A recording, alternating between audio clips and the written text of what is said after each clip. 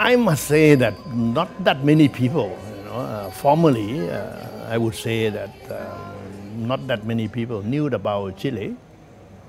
Uh, they would think of Chile as being just a country in Latin America. And uh, not too many people could see the differences. But more recently, because of the um, development of Asia Pacific economic cooperation, uh, we have seen Chile projecting itself very prominently as a leader in terms of trade and investment liberalization. So in that sense, uh, we think that uh, Chile uh, has become a, an important player in Latin America on trade and investment liberalization. That's one. The second was that uh, people in Thailand knew of Chile of being a country under military dictatorship for a long time. And that is very similar to Thailand.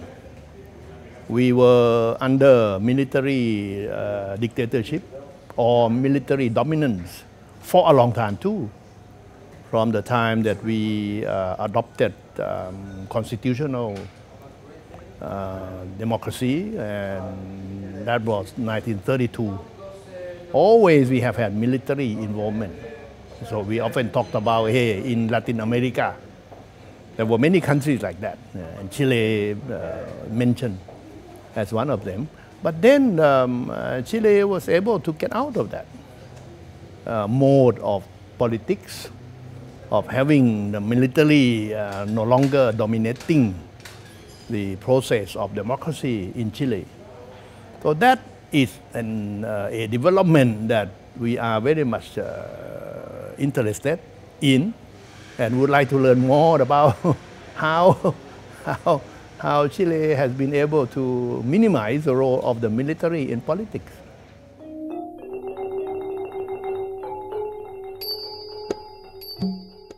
Depends on sectors we do not know, you see, when, when the question is about sector. Uh, uh, if uh, the sector is minerals and mineral processing, I think we, we can be a part of the latter, of the part of the mineral processing. If the sector is food processing, yes, we can be a major uh, partner uh, in that process. We have uh, among Southeast Asian countries perhaps the most advanced food processing industry.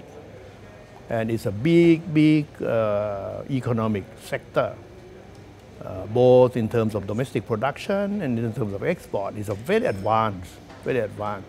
So in that sector, yes, uh, Thailand, Chile uh, can definitely benefit from cooperation and collaboration.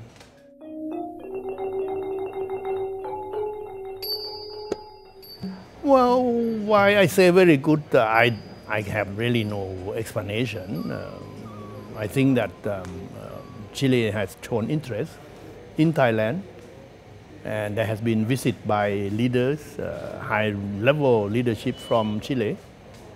And Chile has uh, initiated this FTA with Thailand, which is quite an honor for us. That uh, for a country like Thailand, Chile thinks that it's good enough to have FTA with. You know, uh, this is important because, the, for example, when US wanted to have FTA with us, uh, it, it did not work out because there are so many things that, that we do which are unacceptable to the American. But the fact that we have FTA with Chile, it means that a lot of things we do are acceptable to the Chilean. So in that sense, um, I think that the relationship is very cordial.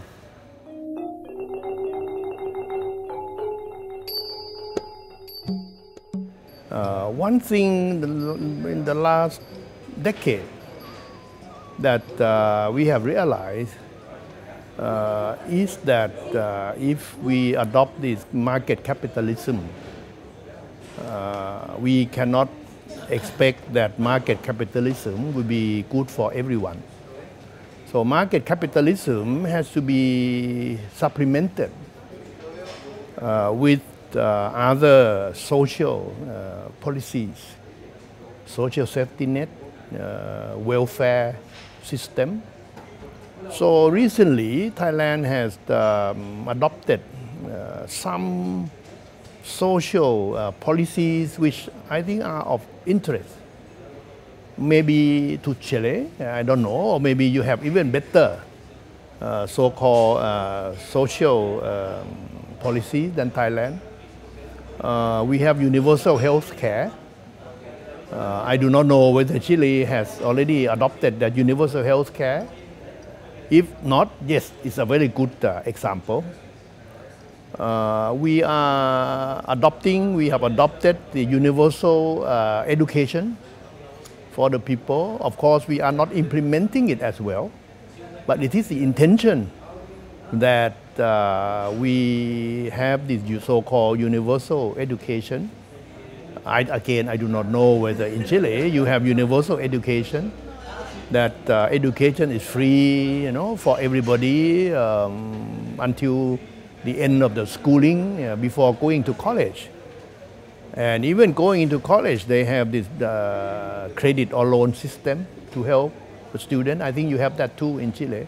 So these are some of the policies that uh, I think among all the emerging economies, uh, the public policy that we could learn from each other. And another thing that we could also learn in a bad way is the public policy which is known as uh, populism, the one that uh, has the objective of being popular without regard for economic cost to the society. And that you could also learn from us that you should not do.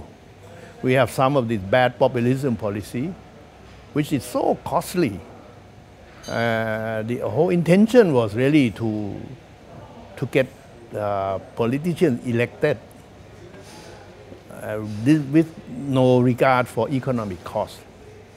And I think these things uh, happened in Latin America before. Uh, we read about it in Argentina during the Juan Perón time. So uh, I think it's pretty well known that some of the policies which are not good. And we should learn not to do it.